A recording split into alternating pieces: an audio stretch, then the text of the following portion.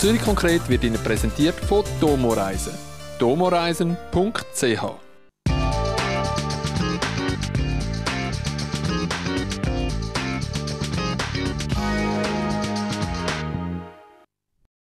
Das ist Zürich konkret Spezial in der Weihnachtswoche. Ich begrüße Sie zu einer weihnachtlichen Sendung hier aus Lachen am See. Unsere Sendung kommt aus besonderem Anlass direkt aus dem festlich dekorierten Weihnachtszelt vom Lachner Weihnachtszauber. Und der findet das Jahr bereits zum achten Mal statt. Noch bis am 30. Dezember geht der Vorhang auf und empführt das Publikum in eine musikalische Weihnachtsstimmung mit der richtigen Portion Humor und den passenden Preisen Superländler-Hits, Schlager, Rock, Pop und Klassikstück und natürlich auch den traditionellen Weihnachtsliedern. Zürich Plus zeigt der 8. Lachner Weihnachtszauber in einer rund zweistündigen Spezialsendung am 4. und 25. Dezember ab dem Abend am 6. Der Initiant und selber acht Jahre auf der Bühne vom Lachner Weihnachtszauber ist der Musiker und Komponist Carlo Brunner. Er ist jetzt da bei mir. Carlo, seit dem 26. November feierst du jeden Abend Weihnachten. Was bedeutet Weihnachten für dich? Ja, sehr viel. Ich bin eigentlich wirklich weihnachtlich aufgewachsen. Wir haben immer Weihnachten gefeiert daheim mit allen Schikanen, also mit Singen und, und Geschenken und alles. Und das machen wir eigentlich bis heute. Und darum ist für mich natürlich der Lachner Weihnachtszauber ganz etwas Spezielles, Schönes. Jetzt der Lachner Weihnachtszauber im Zelt zum achten Mal. Was ist das Besondere daran? Ja, eben, wir feiern Weihnachten und äh, wenn ich daheim Weihnachten feiere, dann ist das schön. Zwei Tage habe ich die Zeit und den Rest feiere ich jeden Abend da in Weihnachten. Muss schon mal schauen kommen. Da kommen wir gerne mit.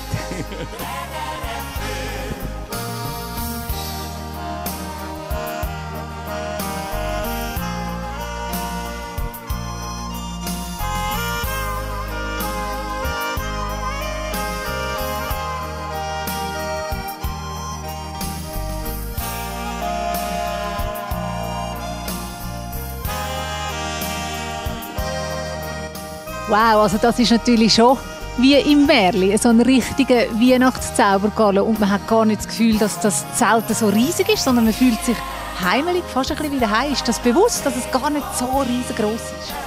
Das ist, glaube ich, auch das Erfolgsrezept von dem ganzen Weihnachtszauber. Weil jeder, der da innen ist, hat das Gefühl, ich würde auch da privat Weihnacht feiern. Es ist so gemütlich, heimelig da innen und darum ist die Größe genau richtig. Jetzt ist es natürlich so, ganz alleine machst du den Lachner Weihnachtszauber ja nicht. Du hast ganz einen Haufen Leute, die dich vor, hinter und auch auf der Bühne unterstützen. Und zwei davon, die treffen wir jetzt. Die sind auch seit dem Anfang dabei. Das ist deine Schwester Maya. Und das Original vom Lachner Weihnachtszauber, der Yoshi Gloschi.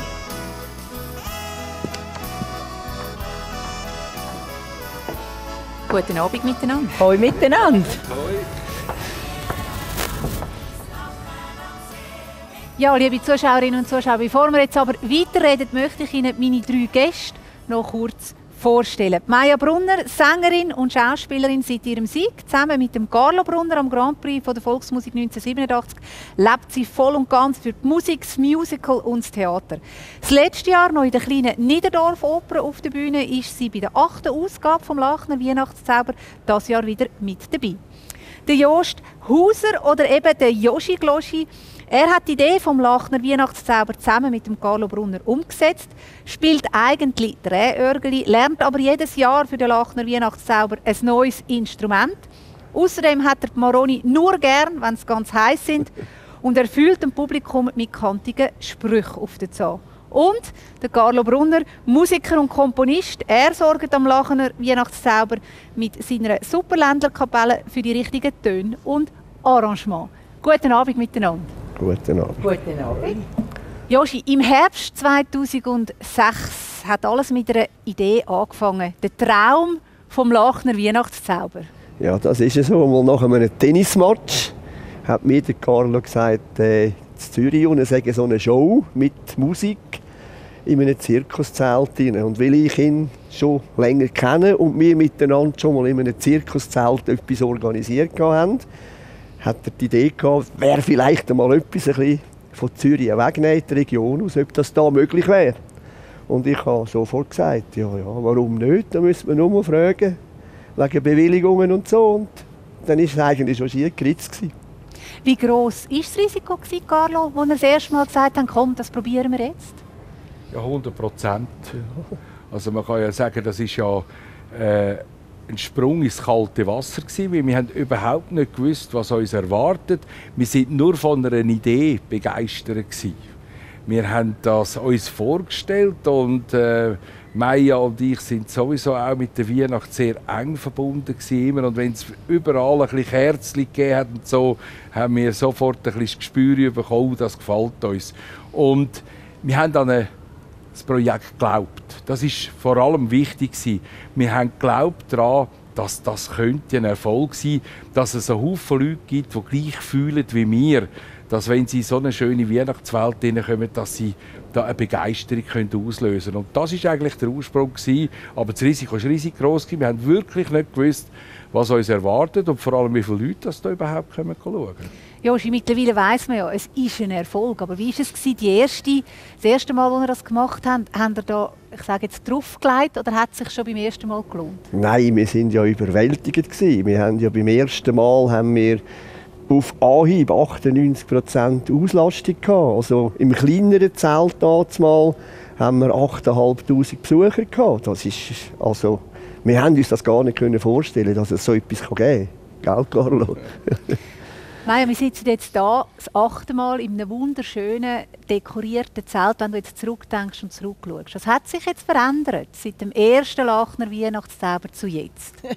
es hat sich einiges verändert. Ich habe gerade letztes Mal äh, an der Evelyn Sutter, die auch hier dabei ist, und der Fabian Lubes, habe ich einmal gesagt, weißt, wir haben eigentlich wirklich klein angefangen. Klein angefangen, das heisst, eben, das Zelt war kleiner gewesen, und wir haben etwas von Anfang an immer gehabt. Ich glaube, das darf man sagen. Wir haben immer das Programm, das wir geboten haben, ist immer qualitativ hoch gewesen. Da haben wir immer ganz einen hohen Level gesetzt. Aber wir haben damals vom äh, Valentinas Varieté, wo wir ja angefangen haben in dem Zelt, haben wir auch Crew übernommen und die ist natürlich noch nicht so eingegangen eingefleischt auf grosses Programm auf der Bühne. Und dort sind wir also wirklich auch mit einer Tonanlage, sind wir noch mit der eigenen, eher ein kleineren Tonanlage gefahren. Auch mit dem, mit dem Licht haben wir, glaube ich, einen Skiwerfer gehabt. Also wirklich ganz, ganz klein haben wir angefangen, was Technik betroffen hat. Aber das Programm hat anscheinend schon wirklich einen Standard gehabt, dass so viele Leute gekommen sind. Und dann dort hat es angefangen und dann ist es immer grösser und schöner, kann man sagen, reichhaltiger geworden. Und äh, das Programm ist auf dem Label geblieben und das hat glaube ich, wirklich funktioniert. Also Maya sagt, das Zelt hat sich verändert, die Elektronik ist ein bisschen professionell geworden, aber am Konzept an und für sich haben wir festgehalten von Anfang an. Ja, wir haben das Konzept voll durchgezogen so, ja. Ich weiß, ich weiß, ihr seid in die Klausur gegangen, der Carlo und Maya, und haben ganz fest studiert, was machen wir jetzt Neues oder anders. Jetzt frage ich zuerst den Carlo, also was, hat's da, was hat da rausgeschaut? Ja, ja, eben. Maya hat viel äh, Wellnessbereich genutzt und ich bin immer ein bisschen um den See herumgelaufen. Nein, wir haben gemerkt, dass das Konzept eigentlich, wie wir es angefangen haben, von der Grund her, also die Grundmauern von dem Konzept sind sehr gut. Wir haben eigentlich die Infrastruktur mehr verändert. Für uns sind äh, Neuerungen eigentlich eher in der Infrastruktur gewesen. Wir haben ja gemerkt, dass das, was ja die Leute erwarten, wenn sie zu uns kommen, eben genau das ist. Darum, darum hat es ja am Anfang schon so funktioniert. Was unsere Idee immer war, was können wir noch verschönern? Was können die Leute noch vermitteln, wenn sie reinkommen, oh, wieder etwas zum Staunen haben? Weil musikalisch kann man die Leute immer überraschen auch wenn das gleich wirkt, man singt ja immer andere Lieder und man hat andere Kostüme, spielt anders. Das ist eine Begeisterung, die sich dann ergibt während dem Programm. Aber im Vorfeld bewegen sich ja die Leute in diesen, in diesen Räumlichkeiten. Und dort, würde ich sagen, hat sich in den acht Jahren sehr viel da. Und dort sind wir natürlich auch in die Klausur gegangen und haben gesagt, was könnten wir jetzt noch wieder machen? Und es ist uns immer wieder etwas in den Sinn gekommen, was wir noch besser machen können. Naja, also viel Wellness, viel Laufen. Aber ist es manchmal auch fast ein bisschen unheimlich, dass man im Hinterkopf hat, eigentlich, jetzt machen wir seit acht Jahren das Gleiche, es funktioniert immer noch, man hat das Gefühl, irgendetwas müssen wir doch anpassen, mit dem Zeitgeist gehen und trotzdem kommt man wieder aufs Altbewährte zurück. Das ist, wenn wir, da kannst du mit jedem Künstler reden, der CDs zum Beispiel aufnimmt. Die Leute wollen eigentlich das Gleiche, aber ein bisschen anders. Und das ist gar nicht, das einfach, das ist so eine Gratwanderung, wo du musst finden, musst wirklich äh, finden, was ist das genau. Und ich glaube, was aber der Weihnachtszauber ganz fest ausmacht. Das ist Musik, das ist in Wort der Yoshi, wie er die Leute berührt, wie er sie zum Lachen bringt und wie wir eben die Leute immer mit der Musik, mit der musikalischen Qualität auch immer wieder können begeistern Aber ganz wichtig ist auch die Liebe zu der ganzen Sache. Und ich glaube, wenn die Leute da vorne reinkommen, können sie einfach alles zurücklassen, haben eine unglaublich schöne, liebevolle Atmosphäre, die sie empfangen. Dann kommen sie da rein und alle machen wirklich wie Kinder oh, schön, Gold, Kerzchen, es glitzert und glänzt. Und das ist etwas, wo glaube im Bedürfnis des Menschen innen ist. Dann kommen sie etwas Gutes zu essen über und dann sind sie da in einem Programm rein, einfach verzaubert. Ich glaube, das ist ganz, ganz etwas Wesentliches, was wir ihnen bieten können. Und da muss man wirklich die Welt nicht auf den Kopf stellen. Das ist ein Grundbedürfnis des Menschen. Joshi Maya hat es angesprochen. Nebst der Musik sind deine kantigen Sprüche ein fester Bestandteil des Programms. Aber, ich habe das eingangs gesagt, du lernst für jeden Lachner Weihnachtszauber ein neues Instrument. Aber bevor wir jetzt verraten, was es das Jahr ist, haben wir ein paar Bilder vom letzten Jahr, wo man sieht, was du mit dem Xylophon gemacht hast. Dann habe ich gedacht, wir machen ja schließlich Weihnachtszirkus, also übst doch ein Weihnachtslied. Das habe ich dann auch gemacht und das heisst, ihr Kinderlein kommt.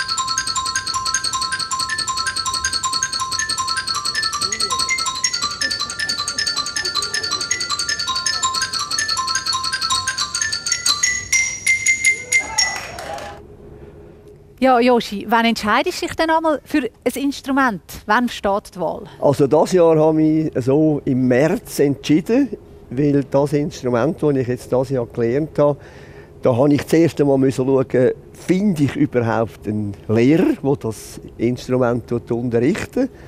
Ich habe dann im Internet einen gefunden und das ist ein Zufall. Der ist da gerade im Pfäffiken in der nächsten, übernächsten Ortschaft. Da habe ich einen Lehrer gefunden, der das Instrument unterrichtet. Ich habe dem angerufen und habe dem gesagt, wer ich bin, was ich mache, ob es echt möglich wäre, bis zum nächsten Weihnachtszauber, also in diesen sieben Monaten, bis geht ja dann wieder los im November, äh, ob, das, ob das möglich ist. Und dann hat er gesagt, ja, das kann man alles probieren. Und dann habe ich mit dem mal einen Termin abgemacht und bin zu ihm und dann hat er mir da alles ein bisschen erklärt, wie das funktioniert. Die Leute überlegen sich jetzt sicher schon überlegen, also so einfach kann es nicht sein, wenn er schon so früh angefangen hat. Und es ist ja auch ganz ein spezielles Instrument. Erzähl uns, was spielst du das Jahr? Ja, also das Jahr habe ich wirklich gedacht, jetzt spiele ich einmal etwas Einfaches, wo ich ein bisschen schneller kann. Weil mit dem Xylophon habe ich doch ziemlich stark müssen üben, fast jeden Tag, weil es ist schon eine Übungssache. Jetzt nehme ich einmal etwas Einfaches und habe mich für den Dudelsack entschieden. Es hat sich dann aber schon herausgestellt, dass das ein ziemlich ein riskanter Entscheid war. Weil, als ich bei dem Lehrer war, hat er mir da erklärt, wie das einigermaßen funktioniert. Ich habe aber dort noch gedacht, ja, ja, das ist schon zu lehren, das kann man lehren. Und dann habe ich so eine Übungspfeife gekauft. Das ist speziell für Dudelsack, wo man dann mit dem Mund anblasen also ohne den Sack. Die tönt dann auch viel leislicher. Also man kann das dann auch in einem Block oder in einem Haus üben, ohne dass Mitbewohner gerade die Decke oben sind. Und das ist noch recht gut gegangen, weil das ist ähnlich wie Blockflöte. Hat ein bisschen andere Griff. Und dann habe ich dann den Dudelsack bestellt und gekauft. Und als ich dann nach der Sommerferien das erste Mal in den reingeblasen habe, dann hat er gerade knapp fünf Sekunden getönt. Und dann habe ich gedacht, merci Yoshi. Und wie lange ist das Stück, das du spielst, etwa, dass wir uns Ja, da es, vorstellen äh, Nach fünf Sekunden hat er das erste Mal aufgehört. Jawohl, und das erste Stück zum Reinlaufen, das geht dann doch etwa 20, 25 Sekunden. Da habe ich wirklich gewusst, jetzt hast du etwas eingebrockt. Weil das ist jetzt etwas vom Strengsten, was es überhaupt gibt. Und ich tue mich ja dann wahrscheinlich auch bei jeder Vorstellung bei sämtlichen Dudelsackspielern entschuldigen, dass ich überhaupt nur daran gedacht habe, das könnte etwas einfach sein. Es ist schwer. Carlo, du als Musiker, du weißt ja mittlerweile ähm, jedes Jahr ein neues Instrument und bis jetzt hat es immer geklappt. Aber es ist natürlich ja schon nicht der normale Weg, ein Instrument zu lernen. Hast du auch schon gedacht, huh, das ist jetzt also heftig, es könnte auch nicht funktionieren? Ja, also ich muss sagen, ich bin wahnsinnig erstaunt über den Yoshi. Weil das ist äh, für das, was er macht, das ist ein absolutes Genie. Ich kann mir das nicht vorstellen, dass ich das könnte, einfach das anderes Instrument, irgendein anderes Instrument in die Hand nehmen und das einfach im Jahr dann da vortragen. Ich weiß auch nicht, in welcher Art das der Yoshi lehrt. Mir lehrt, er sagt ja immer, er sagt der unmusikalischste von allen. Das kann ja nicht sein. Dann macht es vielleicht technokratisch. Vielleicht kann er das irgendwo anders lehren. Und es ist ja tatsächlich so, dass er mich schon früher überrascht hat, einmal bevor das losgegangen ist, mit einem Stück von mir, wo sich ein Haufen Musikanten, die es können, Zähne ausbeissen. Und er an einer Fasnacht mit dem Instrument herkommt und mir einfach mit dem Sopransaxophon den Waldvogelschottisch vorspielt in einem Karacho. Und das ist unter Kenner also etwas Schwieriges. Ja, Schwieriges. und dort habe ich dort schon gestaunt. Will aber gleichzeitig, dass der Yoshi nachher noch ein anderes Stück mit mir spielt. Und das kann er dann nicht. Aber der schwer kann er. Und so lehrt er das auch. Auch das Xylophon und jetzt auch der Dudelsack. Ich habe also auch mit ihm gelitten. Weil ich habe den letzten Monat, bevor das losgegangen ist, habe ich gesehen, Yoshi, jetzt hast du wirklich jetzt hast du eine äh, grosse Hürde vor dir. Weil schaffst du das tatsächlich? Und ich habe keine einzige Sekunde daran Zweifel, dass der Ehrgeiz von Yoshi schlussendlich auch für das wird lange, dass es kann. Und er hat es bewiesen. Kann's. Und wie viele Stück spielst denn du jetzt Dudelsack in dem lachenden Weihnachtszauber? Ja, da spiele ich zwei Stück. Das erste Stück zum Reinlaufen bis auf die Bühne, also vom Zelteingang. Und dann holst du gross und viel Luft? Nein, nein, dann kommt dann eben der Trick, den ich brauche. Ich tue dann ziemlich lang mit den Leuten ein bisschen reden über das schottische Instrument und wie schwer es das ist und wie es beim Üben zu und her geht. Und dann frage ich, und dann sage ich sogar noch, dass man äh, das irrsinnig ist. Sobald man so einen Kilt da hat, kann man ja Gedanken lesen. Ich hätte es nicht geglaubt, aber es ist tatsächlich so, weil mehr als die Hälfte der Leute, die denken es gleich, aber ich sage es nicht. genau, und dann durch das kann ich mich wieder erholen. Und ich muss sagen, jetzt, äh, ich habe dann gemerkt, es wird immer besser, auch beim Üben, bei den Proben bin ich immer ein bisschen weitergekommen, bis ich dann auf die Bühne gekommen bin. Und wenn ich dann fertig geredet habe, dann spiele ich ja dann zusammen noch mit der Kapelle das Amazing Grace. Und das hat sich dann am Anfang auch ein bisschen als schwierig herausgestellt, weil eben der Dudelsack, der hat mehrere Sachen, die man muss machen muss. Man muss koordinieren und dann sollte man es dann auch noch schön im Takt spielen, wie es Musiker halt gewöhnt sind. Und so stehen ihr euch anpassen, Carlo. Ja, ja, natürlich. Und bis am Schluss, am 30. Dezember, können wir das Zelt anbauen, weil du dann so lange kannst laufen Dann mit laufe, dem ich, Dudelsack. dann laufe ich am Silvester durchs Dorf. Oder du nimmst ihn mit zum Tennisspielen. Genau. Ja, ja. Maja, wenn man euch jetzt so da sieht, die sind eine so verschworene Gesellschaft. Es hat Stimmen und, und Musiker und Musikerinnen, die jedes Jahr dabei sind oder immer wieder kommen und dann hat es wieder neue. Wie schwierig ist denn das jetzt, Künstler zu finden, die in das quasi Arrangement Lachner Weihnachtszauber reinpassen? Ja, es ist schwierig ist es bis jetzt nicht gewesen, muss ich sagen. Also sicher tun wir Kriterien setzen, die musikalisch relativ hoch sind. Also es ist nicht nur so, es gibt ja ganz viele Sängerinnen und Sänger, die wunderbare Solisten sind, aber sobald sie in einem Team singen also das, das kann auch heißen zweite und dritte Stimme singen, wo dann das einfach nicht so einfach geht und wo das schlicht und einfach auch nicht praktizieren, was, äh, wo das selten machen müssen. Das muss einmal gegeben sein und dann muss es menschlich. Das ist uns genauso wichtig wie das Musikalische. Es muss menschlich verheben. Und da wissen wir genau, was eigentlich jemand braucht, ein Sänger und eine Sängerin, dass er da passt. Und nach diesen zwei Kriterien suchen wir aus. Und bis jetzt haben wir wirklich immer großes Glück gehabt. Und sie fühlen sich alle wirklich so wohl, die da ankommen, dass riesen Freude haben, gell, wenn sie wieder angefragt werden. Und richtig, ja, man kann eigentlich ein bisschen sagen, ein bisschen Schlangen, also ein bisschen Schlöngere stehen. Ja, es ist wirklich, es ist also eine mittlerweile könnt ihr ein bisschen auswählen. Ja. Wer bestimmt eigentlich, wer kommt? Ist das auch Teamwork? Ja, das machen wir im Team. Also vor allem Meier, der Philipp Mittler und ich sitzen da zusammen, weil wir ja das musikalisch bestimmen. Der Philipp tut ja alle Arrangement machen, tut auch die ganzen Sätze einüben mit den Sängerinnen und Sängern und dann das ganze Musikalische ist eigentlich vor allem dann schlussendlich, wenn es um den Gesang geht, in Meyers und Philipps Hand. Sie tun dann das miteinander üben und miteinander aussuchen, wer das könnte sein. Wir schon zu dritten und äh, wir haben wirklich, ich kann das sagen, eine sehr gute Hand bis jetzt. Ja.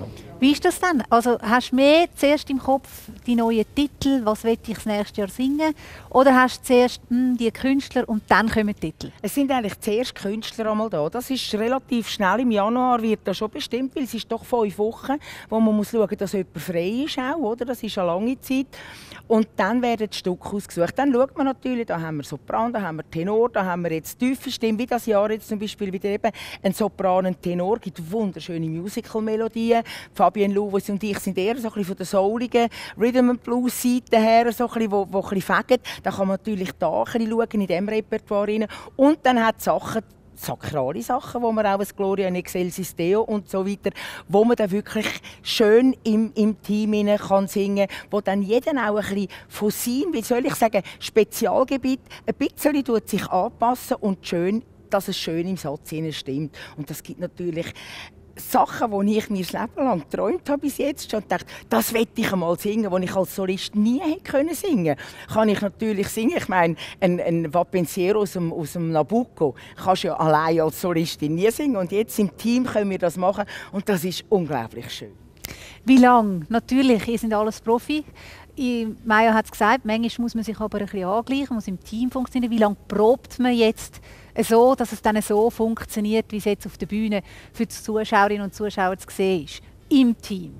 Also wir haben ja das Glück, dass wir jedes Jahr eine CD produzieren. Also wir geben im Prinzip äh, geben die Visitenkarte von dem Programm ab. Das bedeutet auch, wir arbeiten im Studio. Und dort passiert eigentlich die Proberei schon, weil man sie ja dann auf Tonträger produzieren und hat dann bereits im Sommer schon das im Ohr, wo man dann singt. Durch das haben wir den Probebetrieb nicht so intensiv. Also wir müssen nicht wochenlang proben in dem Zelt, sondern es weiß eigentlich jeder, was er zu singen hat schon. Was man da probt, spezifisch sind natürlich auch ein Gänge, Choreografie, alles das. Und das ist ein Glück, dass man die CD macht. Und bei den Musikanten ist es noch viel einfacher. Wir sind wirklich ein eingeschworenes Team, die Superländler Kapelle Hammer Kollegen, Hammer Musikanten. Und wir können es also wirklich, heute elektronisch kommt jeder äh, eigentlich äh, Musik überheim was wir haben. Der Philipp und ich das schnell gestalten. Im Studio schicken sie jedem heim. Wir machen eine Probe und es tönt schon. Und dann haben wir die Zeit, die wir da noch nutzen können. Aber ich habe natürlich so ein grosses Glück mit diesen Musikanten, wo jeder für sich wirklich ganz speziell gut ist. Ja, aber jetzt Joshi Kloschi, klar, du hast gewusst, du bringst es her. Und es ist jedes Jahr das achte Mal schon. Aber jetzt, wenn du zurückdenkst an die Premiere, ist man dann da gleich noch schaurig nervös? Oder ist es so viel Routine, dass es einfach funktioniert? Ja, ich kann es dir nicht vorstellen, wenn ich nervös bin. Wie bist denn du nervös? Also bist du angenehm, wenn du nervös bist? Ich werde eher ruhig. Ja, ich bin ruhig, ich sage nicht so viel und ja, ich, ja aber ich innerlich gumpet Also bis ich hier zum Vorhang führen komme, da bin ich fast nicht ansprechbar. Das, aber das ist nur bei der Premiere, weil es ist für mich natürlich auch recht schwierig, weil ich habe ja nicht einfach Noten. Ich meine, was ich erzähle, muss ich ja immer neu schreiben. Und ja, ich weiß ja nie, finden die Leute das auch lustig, wenn ich es lustig finde. Bis jetzt ist es zum Glück immer so. Gewesen. Also hast du deine Texte noch nie müssen anpassen, weil es irgendwie nicht funktioniert hat? Das habe ich jetzt doch noch nie müssen. Das, nein, es gibt Sachen, die dazukommen, wo man dann halt irgendwie mit der Zeit noch, noch kommt man etwas in Sinn und dann hängt es noch irgendwie dran an. Aber einen Text weglassen oder neu schreiben oder umgestalten, das habe ich tatsächlich noch nie müssen. Das hat immer funktioniert. Maja, wie ist es eigentlich, wenn man jeden Tag quasi, manchmal sogar zweimal das gleiche Programm spielt und die Routine hat? Ist das nicht auch ein bisschen gefährlich, um mal reinzugehen, weil man einfach denkt, das geht so von alleine? Ja, gibt es auch. Und das ist gerade, das, das ist etwas, wo man sich immer wieder, eben, man, es gibt zwei Sachen, man darf nie das Gefühl haben, man könne etwas wirklich. Weil sobald man das Gefühl hat, dann wird man nachlässig und Konzentration, das ist eigentlich die gefährlichste Situation. Am Anfang tut man sich wahnsinnig konzentrieren und das tut einem aber schnell dann wieder zurückholen. Wenn man einmal einen Einsatz verpasst oder irgendwann ist man dann wirklich, man verschrickt und denkt, Achtung, aufpassen. Verleidet tut es einem nicht. Das ist jetzt etwas, was mich viele fragen bei der, beim Theaterspielen. Also, jetzt hast du es 300 Mal gespielt. Nein, ist falsch. Ja, ja. Es ist jeden Abend ein neues Publikum, eine neue Zusammensetzung. Sie reagieren immer anders, jeden Abend. Und auch die Zusammensetzung auf der Bühne, man selber ist jeden Tag anders drauf. Die Kollegen sind anders drauf und es gibt jeden Tag eigentlich wieder eine Premiere. Carlo, wie viel Spontaneität lädt denn das Programm überhaupt zu? Wenn, wenn jetzt meint, jeden Abend ist ein anderes Programm, die Sprüche kommen mal besser oder mal anders an. Wie viel Spielraum haben wir denn da überhaupt? Sehr gross, weil das Publikum ist immer anders. Man kann sich das gar nicht vorstellen, was da für Unterschiede spürbar sind. Ist es ein Sonntagnachmittag, ist es ein Dienstagabend, ist es ein Freitagabend? Da merkst du auch die Laune der Leute, das kommt so gut über. Und wir sind manchmal hinter der Bühne und sagen, ja, heute sind es eher ein ruhig, vielleicht müssen wir ein bisschen mehr nach. Oder heute ist ganz eine gute Stimmung. Und was auch noch ganz wichtig ist, es tönt nicht immer gleich da rein. Wenn die Luft trocken ist, tönt es anders. Wenn es feucht ist, tönt es anders. Wenn es ganz warm ist, ist es anders. Also, wir haben es spannend. Und ich denke immer, was Meier vorne gesagt hat, die Routine ist die grösste Fehlerquelle, die es gibt. Wenn man sich in die Routine begibt und denkt, wir machen den gleichen Tramp, das ist das Gefährlichste. Und darum ist es tatsächlich, wie Maya sagt, auch für uns jeden Tag eine Premiere. Weil jedes Mal sind andere Leute da und die sehen das immer das erste Mal und die erwarten auch bei uns immer eine Premiere. Joshi du hast es gesagt, du hast keine Notenstände, im schlimmsten Fall kannst drauf schauen. Also das Zeug muss sitzen, das muss auswendig kommen. Jetzt, man ist ja nicht jedes Mal gleich drauf. Hast, also ein Lapsus, ist dir auch schon mal etwas so passiert, ich weiß auch nicht, zweimal das Gleiche erzählt hast oder einen ja, Witz ja, ausgelassen hast? Auch. Das gibt es natürlich, aber die Leute sind ja wieder gar nicht gesagt, die sind immer andere. Also die wissen ja nicht, wie es gestern war. Und ich bin jetzt dort manchmal schon noch beschlagen genug, dass mich rausschlängeln kann, dass ich wieder drin komme. Ja. ja, das ist jetzt halt auch eine gewisse Routine, die man hat und überkommt. Ist es eigentlich bei euch auch so, ihr singt ja auch Weihnachtslieder. Und das singen ganz viele Familien daheim, gibt es ein Ritual unter dem Christbaum, wird gesungen. Und man singt jedes Jahr die gleichen Lieder.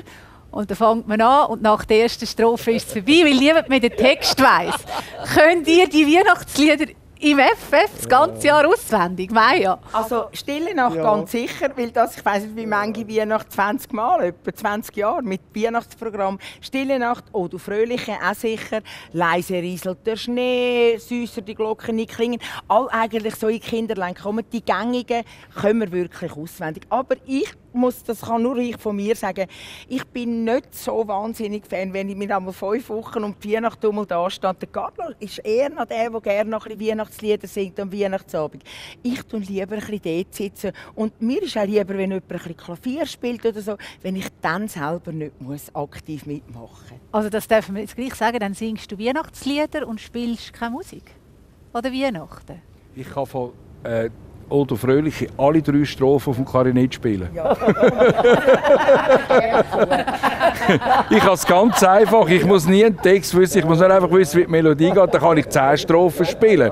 Und das ist der Unterschied. Ich bewundere ja äh, die Leute, äh, die Sängerinnen und Sänger, die Texte, die sie alle können. Gerade bei uns Englisch, Italienisch, dann auch schon Spanisch und so. Und die singen das einfach so. Wenn wir es mal drauf haben, wir können uns auch immer rausschlängeln. Wenn du Musik hast, kannst du halt mal diese Variation spielen und so. Aber sie müssen dann das halt singen, weil sie singen dann im Chor, im Satz. Und da muss jedes gleich singen. Bewundere das. Also wir tun uns nicht an der Weihnachten auferlegen, dass wir dort noch Stress haben.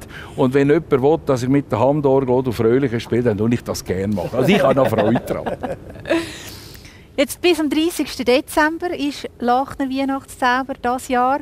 Und dann machen wir gleich einen Ausblick. Der Joshi Gloschi hat es gesagt, im November fängt es dann wieder an, aber zwischendurch gibt es ja gleich auch noch ein paar andere Sachen. Carlo, bei dir, das dürfen wir sagen, steht ein grosses Jubiläum an.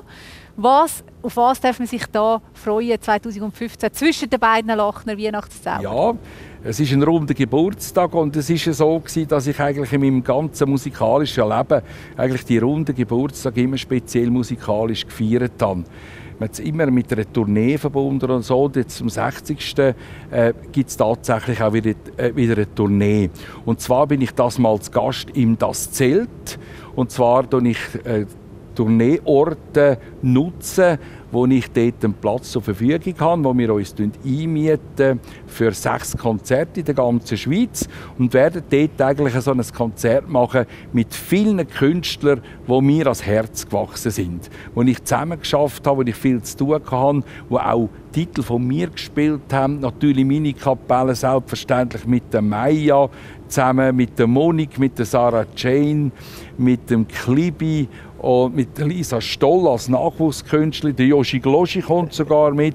Und der Kurt Zurflue tut das präsentieren. Und dann habe ich nochmal ländlermusikalische Freunde dabei, die natürlich wieder zurück zum Ursprung gehen von mir. Das ist Kapelle Echo vom Tödi, also ein rundes Programm. Und da freue ich mich jetzt natürlich sehr, dass wir bis dann ein bisschen volkstümliche Musik machen in unserem Stil und dann geht es bald schon wieder an die Weihnachten an. Ja, Joshi, wann fängt denn das an? Also mal abgesehen davon, dass du ja wieder ein neues Instrument lernst, wann kann man sagen, fängt es dann so ein bisschen an, Weihnachtszaubern? Ja, es hört eigentlich fast nie auf. Das ist es jetzt bei uns, weil wir am 2. Januar fangen wir an, wieder das Zelt abbrechen. Die Dekoration muss auf, das Zelt muss ab, wir müssen alles ins Lager versorgen.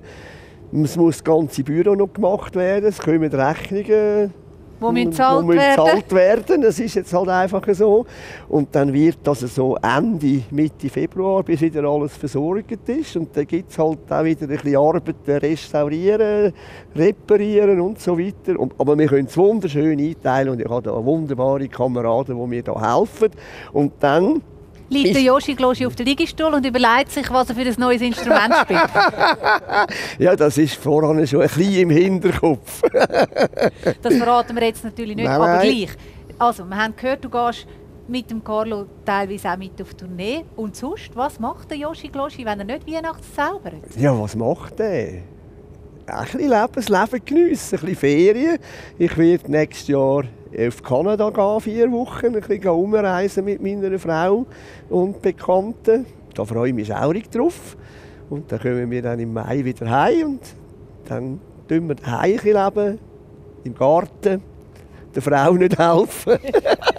und irgendein Musikinstrument? Ja, das werde ich ja wohl nicht drum herumkommen. Da habe ich aber jetzt nicht so grosse Angst, obwohl ich jetzt durch den Dudelsack ein bisschen einen Schuss vor den Bug bekommen habe, dass ich da vielleicht ein bisschen besser recherchiere, bevor wir dann entscheiden, was für eins es dann ist. Maja, bei dir weiss man, du bist schon wieder am Proben. Wie verrückt. Auf was dürfen wir uns freuen zwischen den beiden Weihnachtszaubern? Es kommt alles auf Krankenschein ab dem 21. Januar im Bernhard Theater. Äh, Regie Erich Vogt und selbstverständlich ihn auch auf der Bühne. Es wird ganz, ganz eine tolle, tolle Komödie, lustiges Stück wieder. Was geht da, Kurz zusammengefasst. Äh, ähm, oh, jetzt muss ich gerade studieren. Also, äh, du, äh, man hat einen Oberarzt dort in, de, in einem Spital und äh, ich bin seine Frau und dann kommt eines Tages kommt, äh, die Schwester, die vor 18 Jahren äh, die geschafft hat, die Lehrling, also die Lehrschwester. Und die sagt, sie hat ein Kind von dem Oberarzt mit ihm und der Bub ist inzwischen 18. Und um das geht es dann. Das gibt natürlich ein riesen Bau. Äh, ja, wie verheimlicht man äh, das? das äh, du spielst die Eifersüchtige, ja, beleidigt Ich weiss es ja ah. Ich weiss vor allem nichts. Ich bin natürlich die Ahnungslose, die dann immer wieder in alles hineintrampelt, in die Turbulenzen hinein. Also es ist ganz, ganz ein toller Schwank, der natürlich eben durch, durch wieder äh, Rasanz tut, äh, äh, leben von, von der ja, ich bin völlig jetzt von der also einfach von den einzelnen Rollen Charaktere von den genau. Charakteren das genau. ist das Wort das du gesucht hast ja genau kommst eben auch gerade von der Probe das ist genau. es nämlich eben dann ist das Hirn ja mal so ein bisschen gerade ein bisschen runtergefahren und muss sich wieder auffüllen also da freuen wir uns da sehen wir dich also in ein Fettnäpfchen nach dem anderen treten genau, von wann bis wann läuft genau. das im Bernhard Theater das läuft vom 21. Januar bis äh, Ende März Gut, und dann geht es schon wieder auch ein bisschen im Hinterkopf von Lachen Weihnachtszauber. Dann geht es natürlich äh, mit dem Carlo auf Tournee. Da muss man, der, das Programm muss dann jetzt eigentlich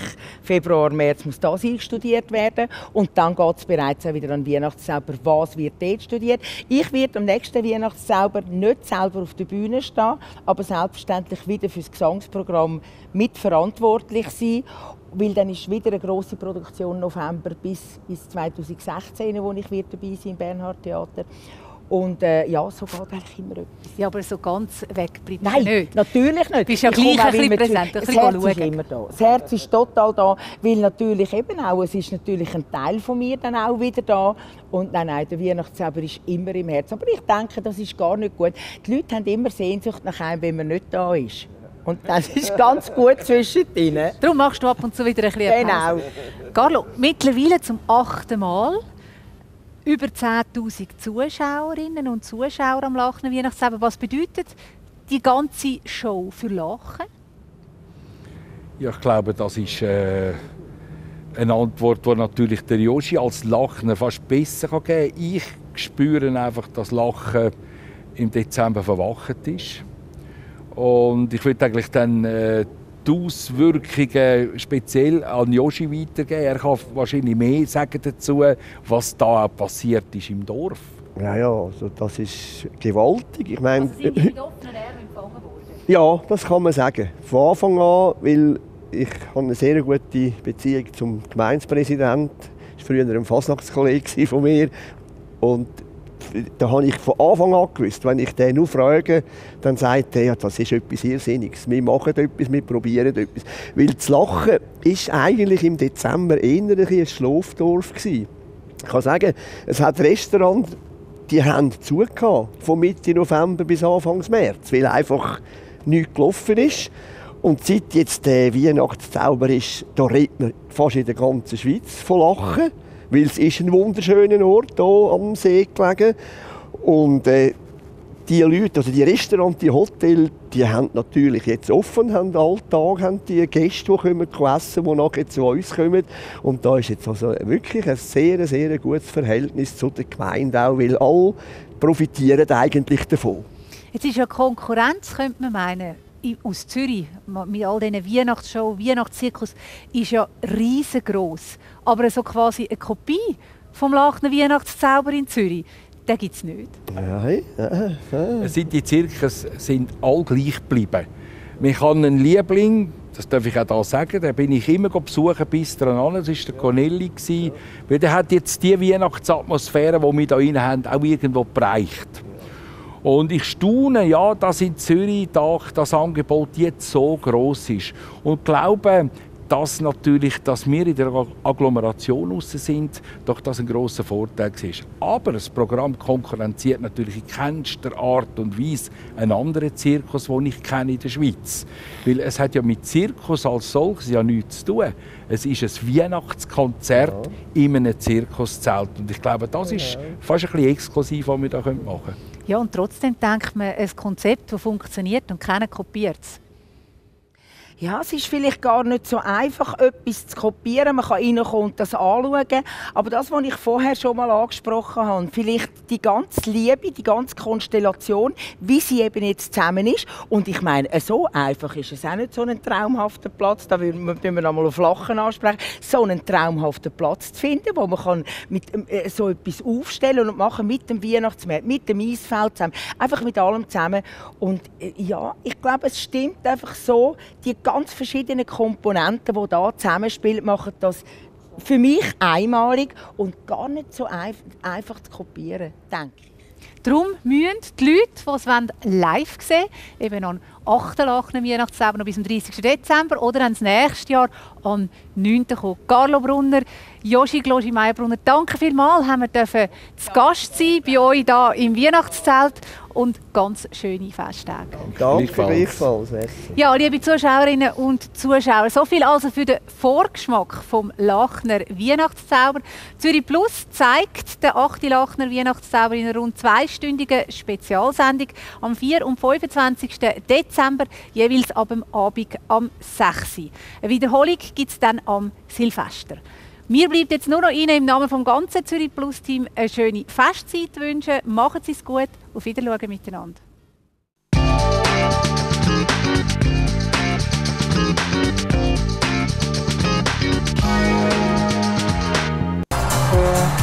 Zürich konkret ist Ihnen präsentiert worden von Domoreisen. domoreisen.ch